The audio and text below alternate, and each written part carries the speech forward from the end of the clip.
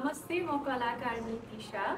धरान रनको बारेमा मैले पहिले पनि सुनिरहेको थिएँ र यसपालि यो वर्ष पनि धरान रन हुन लागेको छ फागुन बाह्र फेब्रुअरी ट्वेन्टी फोर्थमा। धरान रन नेपालको सबैभन्दा बिगेस्ट रनिङ इभेन्ट हो र यसमा धेरैजना नेपालको मात्रै नभएर बाहिर विदेशबाट पनि यहाँ रनर्सहरू आएर यो इभेन्टमा पार्टिसिपेट गर्नुहुन्छ। यो इभेन्टले धरान रन्ने एउटा सोसियल कजको लागि मात्र नभएर एउटा हेल्दी लाइफस्टाइल पनि प्रमोट गर्छ।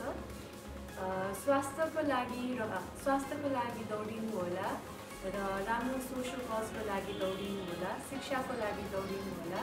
To all the participants in this coming Dharan run event सबैजनालाई धेरै धेरै शुभकामना र अल द बेस्ट